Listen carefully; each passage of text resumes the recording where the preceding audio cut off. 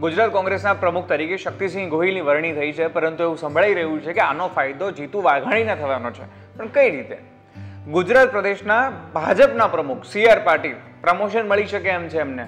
એમની ટર્મ હમણાં પૂરી થવા જઈ રહી છે, એના પછી એમનું શું થશે? ખરેખર બહુ મોટો પ્રશ્ન ઊભો થયો છે. એની સાથે સમાચાર એવા પણ છે કે સરકાર એક તપાસ કરી રહી છે. તપાસ શું છે? ધવલ પટેલ આઈએએસ કે જેમનો લેટર બોમ્બ ફૂટ્યો હતો. આ લેટર બોમ્બ ફોડ્યો કોણે? બ્લીક કોણે કર્યો? એના વિશેની સરકાર તપાસ કરી રહી છે. તો શું છે આ તમામ બાબતો? એના વિશે જાણીશું. આપણે આજના સ્પેશિયલ શો દિવસ રાત ગુજરાતમાં.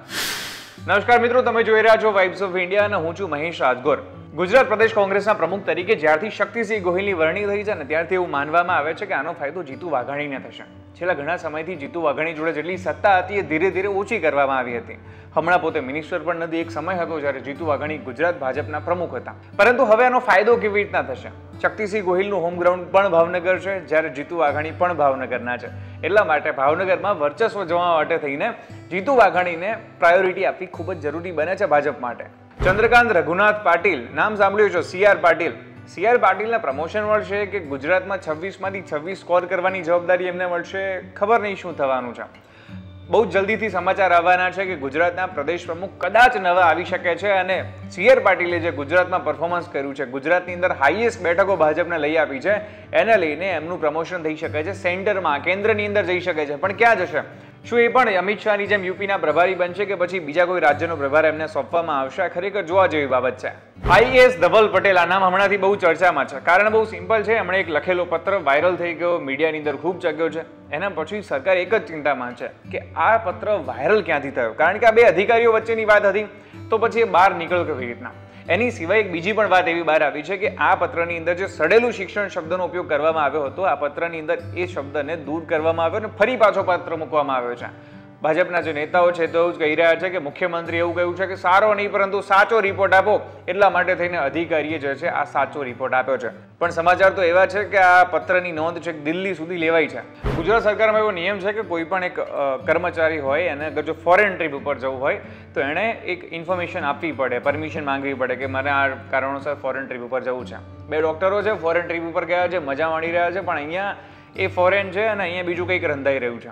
એક આરટીઆઈ કરવામાં આવી છે, જેની અંદર માહિતી માંગવામાં આવી છે કે શું એમણે પરમિશન માંગી હતી કે નહીં પ્રોસિજર પૂરી થઈ છે કે નહીં. એની સાથે કોઈ એક ઇન્ફોર્મલ કમ્પ્લેન પણ કરી છે કે આજે ડોક્ટરો ગયા છે, કોઈ પણ જાતની ઇન્ફોર્મેશન આપ્યા વગર ગયા છે. આ ડોક્ટરો કોણ છે, શું છે, તમે જરાક સર્ચ કરશો તો જલ્દીથી મળી જશે. અશ્વિની કુમાર, શહેરી ખાતાના પ્રિન્સિપલ સેક્રેટરી છે અને એમની જોડે વધારાનો ચાર્જ છે, યુવા અને રમતગમત મંત્રાલયનો.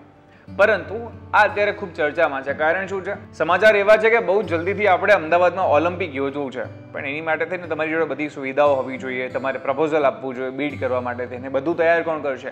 તો આ મોટા ભાગની જવાબદારી અશ્વિની કુમાર માથે નાખવામાં આવી છે અને કહ્યું છે, તમે આની તૈયારી કરો. આપણે ઓલિમ્પિક અમદાવાદમાં યોજવાનું થાય જ છે. આ વીડિયો જ્યારે હું શૂટ કરતો હતો ત્યારે મારું માથું દુખતું હતું. એની સાથે સાથે બીજા એક વ્યક્તિનું પણ માથું દુખતું હતું. એ કોણ છે? ખબર છે? ગુજરાતના મુખ્યમંત્રી ભૂપેન્દ્ર પટેલ. એમના માથાના દુખાવાનું કારણ કંઈક અલગ હતું. એ કારણ હતું બ્રિજ. આજકાલ જે સમાચારો આવી રહ્યા છે કે આ બ્રિજ અહીંયા તૂટ્યો છે, આ બ્રિજ ઉપર આવું કામ થઈ રહ્યું છે. કેટ કેટલા સમાચારો તમે આટલા જોયા છે? અને આ જોઈને ભૂપેન્દ્ર પટેલ અકળાયા છે. કહ્યું છે કે હવે કોઈ પણ જાતનો આવી ઘટના બહાર આવી તો સ્ટ્રિક્ટ પગલાં લેવામાં આવશે. કારણ કે ઓબ્વિયસલી આનાથી સરકારનું નામ ખરાબ થઈ રહ્યું છે કે સરકાર શું કરી રહી છે? અને સૌથી મોટો ચાંદલો કોણે કર્યો છે? હાટકેશ્વર બ્રિજે. બે અધિકારીઓ છે. એકનું નામ દહિયા અને બીજા છે રંધાવા. બંને અલગ અલગ કાંડથી સસ્પેન્ડ થયેલા છે. બંનેને પાછું આવવું છે સરકારમાં. એટલા માટે થોડાક સમય પહેલાં ગુજરાત સીએમઓમાં એમના પગલાં દેખાયા હતા. હવે બધા એવું જ કહી રહ્યા છે કે આ બંને અધિકારીઓને પાછું સેવામાં જોડાવવું છે. એટલા માટે આ લોબિંગ ચાલુ છે. સૌથી ધીમામાં ધીમું કોણ હોય? કાચબો? ના, કાચબાથી ધીમું કામ ચાલી રહ્યું છે અમદાવાદ રાજકોટના સિક્સ લેનનું કામ.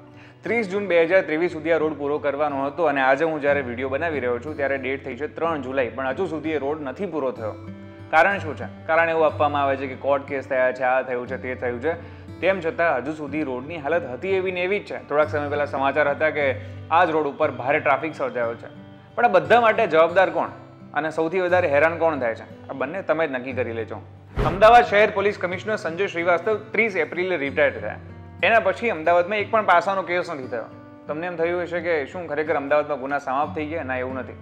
એડિશનલ ચાર્જ જેમને મળ્યો છે, એ અધિકારી જે છે, એ પાસા નથી લગાડી શકતા. મતલબ જેની જોડે એડિશનલ ચાર્જ હોય, એને પૂરતા હકો નથી હોતા. અમુક જ હકો મળેલા હોય છે. એટલા માટે થઈને પાસા જેવો કાયદો prevention of anti social activity હજુ સુધી અમદાવાદમાં નથી લાગી શકતો જસ્ટ બિકોઝ અમદાવાદની જોડે ફૂલ ટાઈમ કમિશનર નથી. તો બસ હવે પ્રશ્ન એ જ થઈ રહ્યો છે કે કેમ અમદાવાદને આટલા સમયથી ફૂલ ટાઈમ પોલીસ કમિશનર નથી મળ્યા? એની સાથે સાથે ગુજરાતની અંદર આઈપીએસ ઓફિસરની બદલીઓ પણ નથી થઈ. ઘણા કહી રહ્યા છે કે ગુજરાતમાં જે આઈપીએસ ઓફિસરની બદલીઓ થાય છે એ ભારતના ગૃહમંત્રી અમિત શાહની સલાહથી થતી હોય છે. પરંતુ અમિત શાહ તો ત્રણ ચાર વાર ગુજરાત આવીને ગયા, તેમ છતાં હજુ સુધી કેમ કંઈ નથી થયું? બે હજાર ચોવીસમાં લોકસભાની ચૂંટણી આવી રહી છે. એ ચૂંટણી પહેલાં તો ચોક્કસથી બદલીઓ થઈ જવી જોઈએ. એપીએમસી ખબર છે તમને? એગ્રીકલ્ચર પ્રોડક્ટ જે હોય એની માટેનું માર્કેટ હોય, સરકારી અથવા તો સહકારી ધોરણે હોય છે આ. મૂળ તો સરકારી નથી હોતું, સહકારી ધોરણે હોય છે. પરંતુ એક પ્રાઇવેટ એપીએમસી ખુલવા જઈ રહ્યું છે દસ કરોડની અંદર. ખોલનાર વ્યક્તિઓ કોણ છે? ભાજપના નેતાઓ છે. અને એવું કહેવામાં આવી રહ્યું છે કે જે સહકારી એપીએમસી છે, એની અંદર ખેડૂતોને પૂરતો ભાવ નથી મળતો. એટલા માટે આ પ્રાઇવેટ એપીએમસીની અંદર અમે તમને પૂરતો ભાવ અપાવીશું અને એનું પ્રમોશન પણ બહુ મોટા પાયે થઈ રહ્યું છે. શું ખરેખર પ્રાઇવેટ એપીએમસી કામ કરશે ખરી કે પછી પ્રાઇવેટ ફાયદો થશે? તો આશા રાખું છું તમને આજનો એપિસોડ ખૂબ જ ગમ્યો હશે. ઘણી બધી અવનવી વાતો કહી છે તમને. તમને કંઈ વધારે ગમી કમેન્ટ કરવાનું ચૂકતા નહીં. અને આવા જ ઇન્ફોર્મેટિવ વીડિયો સાથે હું તમને મળતો રહીશ બાઇક્સ ઓફ ઇન્ડિયા ઉપર.